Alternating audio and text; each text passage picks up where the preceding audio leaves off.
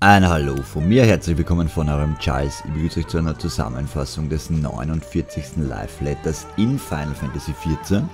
Es geht Schlag auf Schlag, 2. 3. Februar, Fanfest in Paris.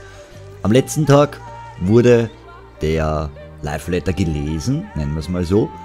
Das betrifft jetzt eher noch den aktuellen Content, das heißt nicht das, was in Shadowbringers kommt, sondern das, was jetzt uns noch bis dahin betrifft. Und hier müsst ihr dranbleiben, denn am Ende gibt es eine mega Überraschung. Das heißt, man hat uns hier noch ein bisschen überrascht. Und vorweg gleich mein Hinweis wie immer. Ich habe einen Discord-Server für die Community errichtet neu. Link ist unten drinnen in der Beschreibung. Das heißt, joint meinen Discord-Server, da wählt ihr aus, welches Spiel ihr spielt. Dann bekommt ihr nur freigeschalten, was euch interessiert. Das heißt, ihr seht nicht unnötige Spiele, wo ihr dann Ewigkeiten lang runterscrollen muss, sondern ihr kriegt echt nur das freigeschalten, was ihr eben spielt, was ihr eben, jo, was euch eben interessiert. So, somit starten wir jetzt gleich mal mit dem Produzenten Live Letter. Ähm, ich habe das hier ausgeblendet, den Inhalt. Ich greife wie immer mal auf Crystal Universe zurück. Link ist ebenso unten in der Beschreibung. Danke wie immer an die Franziska. Und man hat uns schon mal das erste Mal gesagt, okay, der Zeitplan. Wie sieht es aus mit dem Zeitplan? Und den habe ich jetzt hier. Man sieht es ja eh. Uh, Patch 455 im Februar am 12. Das heißt, jetzt uh, haben wir hier noch 8 Tage Zeit bei Aufnahme des Videos. Hier kommt das PvP-Hitten George, das gucken wir uns gleich an. Hier haben wir auch Videos dazu. Eureka Hydatos.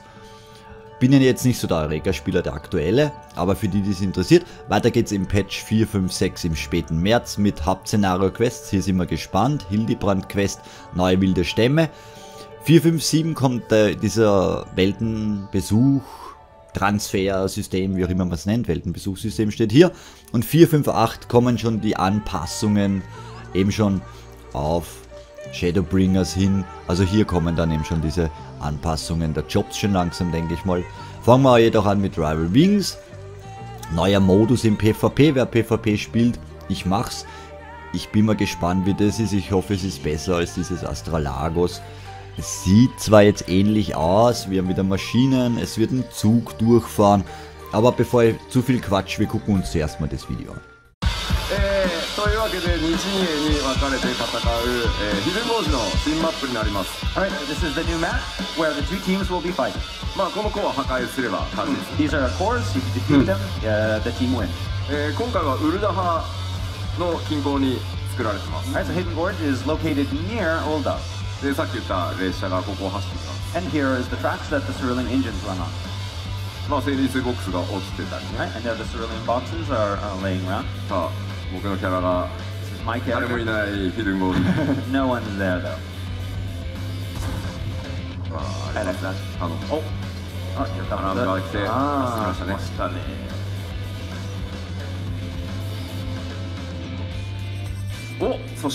急にレイドっぽいね Here we come. The raid begins. Yeah, yeah, yeah, yeah. プレイヤーと戦いながらあれを避けて That's right. You マーシナリ have, ー攻 you're 撃 fighting the other teams and also dodging the attacks from the mercenaries. はい Thank you very much. Ah, ihr seht also, es sieht relativ interessant aus. Bin mal gespannt, wie sich spielen lässt. Gebe ich mal ganz ehrlich zu. Werde es dann ab, ja, ab 12. dann auch spielen und mal hineingehen. Ähm, zwei Teams kämpfen gegeneinander. Die Regeln werden ähnlich sein wie in Astralagos. Ja, hier haben wir schon. Weiterhin wird auch, es wird neue Mechas geben. Hier auch die, die vielleicht neu sind, weil ich habe das gestern im Stream ein bisschen falsch ausgedrückt. Natürlich können auch Spieler hineingehen in diese Maschinen, die noch nicht drinnen waren, logischerweise. Aber dann bitte lest euch die Skills durch, was diese Maschine kann. Ja, ganz wichtig. Also wenn ihr drinnen sitzt, investiert die 10 Sekunden, guckt euch an, was können die Skills, ballert nicht einfach drauf los, ja, sondern lest euch das mal durch, als Hinweis von mir. Macht's viel einfacher. Skills lesen, Kommandos lesen, das macht's viel, viel einfacher. Dann gibt es Züge, die durchfahren werden. Ähm, das ist so wie eine Lieferung. Ich habe es verglichen mit Fortnite oder so, wenn irgendwas runtergeschmissen wird. Bei uns kommt halt ein Zug. Da steht auch drinnen, dass er Schaden verursacht, aber es war auch in diesem Letter drinnen, dass das Ding auch irgendwie so, so Loot abwirft. So habe ich es zumindest verstanden. You can claim uh, the cargo which may include keys to powerful gob tanks, large quantities of ceruleum and more. Also, das Ding wird auch was delivern, also abliefern, so wie ich es verstanden habe. Ja, also relativ cool. Die Bilder seht ihr zwar jetzt auch, wenn ihr es groß haben wollt, denn wenn ich es groß mache, dann sitze ich mittendrin, wie man sieht. Das heißt, guckt euch die Bilder gerne auch auf Crystal Universe an natürlich. Ähm, weiter geht's, hier dann schon mit Eureka. Hydatos, letztes Kapitel, die Geschichte findet ein Ende, Elementarlevel ist auf Level 60 jetzt, die Ausrüstung kann verbessert werden, ja, hier also nicht nur Waffe, sondern auch Ausrüstung. Und neue Logogramme und neue Aktionen wurden hinzugefügt. Hier gibt es auch eine Live-Demonstration von Yoshi P, die schauen wir uns jetzt natürlich auch an.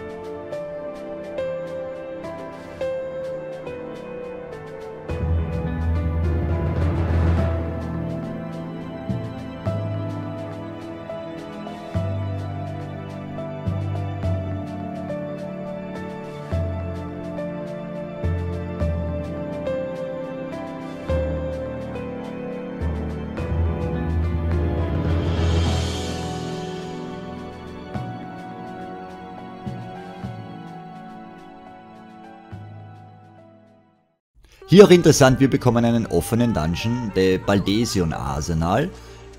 Umfasst bis zu 56 Spieler, ist innerhalb von diesen Hydatos, aber unabhängig von der Geschichte. Bestimmte Be Bedingungen müssen erfüllt sein, also Uhrzeit, Items können eine Rolle spielen. Bei einem Vibe besteht die Chance, dass euer Level sinkt. Es gibt verschiedene Bosse, Fallen wie im tiefen Gewölbe, Spieler können nicht wiederbelebt werden. Auch ja, sehr wild finde ich. Sehr zeitaufwendig und schwierig und man braucht eine Menge Glück. Ähm, Glück in einem RNG-basierenden Spiel finde ich schon mal sehr interessant. Ich habe es ein bisschen verglichen auch vielleicht mit Diadem, wo man da, wo das gespawnt ist. Wir werden sehen, also ich werde es am Anfang nicht spielen können. Ich sage so wie es ist, ich muss mal gucken, ob ich meinen Charakter so weit noch schnell hochziehen kann da drinnen, dass ich spielen kann. Wenn nicht, werde ich euch trotzdem am Laufenden halten über meine FG, die spielen das ja aktuell, ist ja aktueller Content für sie und werde euch dann informieren, was da drinnen los ist. Das heißt, hier gibt sicher von mir Informationen an euch, wie es in Zukunft hier drinnen weitergeht. Da hat es auch Bilder dazu gegeben. Es sieht relativ interessant aus. Also hier, wer das Spiel mag, sieht auf jeden Fall sehr, sehr interessant aus. Und hier jetzt dann die Überraschung. Kollaborationsevent mit Final Fantasy 15. Hier, bevor ich zu viel Quatsch, Video.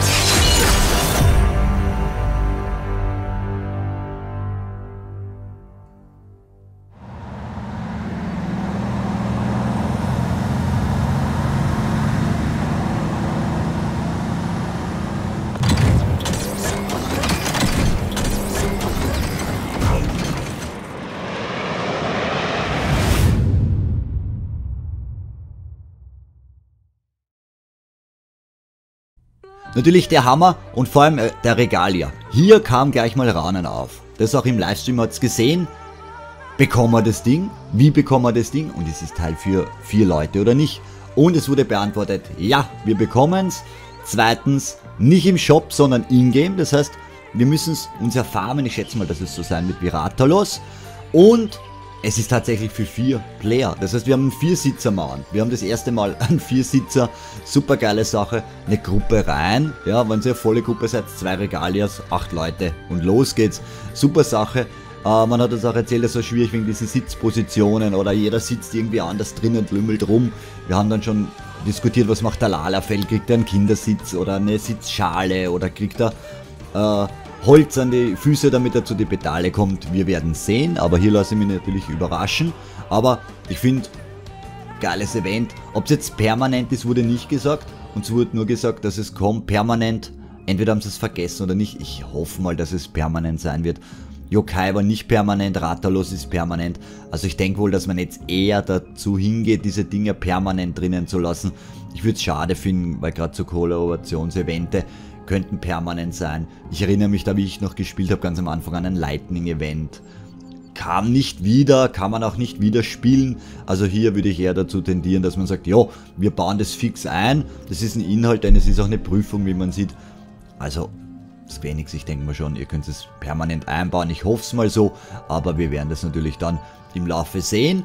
Wann kommt das Event? Das Event kommt Mitte April, das heißt, wir haben noch Zeit, bis hin April alles zu erledigen. Dann kommt dann noch die Story. Also wir haben doch noch etliches zu tun. Ich war sehr überrascht, dass wir doch noch wirklich viel zu tun haben, bis wir zur Erweiterung von Shadowbringers kommen. Also hier bin ich sehr gespannt. Und es gab dann noch ein QA mit Ayume Namae.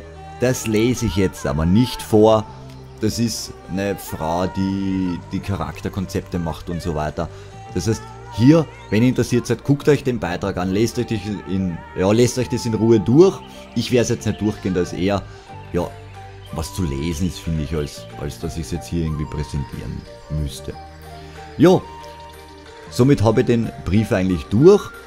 Ähm, von der Zeit her hat nicht lang gedauert, 45 Minuten. Ich gucke auch bei mir auf die Uhr, ich bin auch so bei 10, 12, 13 Minuten inklusive der Filme. Also das passt. Ich hoffe, das Video hat euch gefallen, die Informationen. Schreibt es mir in die Kommentare hinein natürlich, was sagt ihr zu dem Live-Letter, was sagt ihr zu dem Final Fantasy 15 Kollaborationsevent, Regalia natürlich ein großes Thema, werdet ihr PvP spielen. Ihr kennt mich eh, ich bin immer interessiert, was ihr so treibt. Und jo, somit nochmal der Hinweis, nicht vergessen, den Community-Server auf Discord und natürlich hier Kommentar, Like, Abo, hier lassen natürlich wie immer. Und somit ein Tschüss von mir, bis zum nächsten Mal.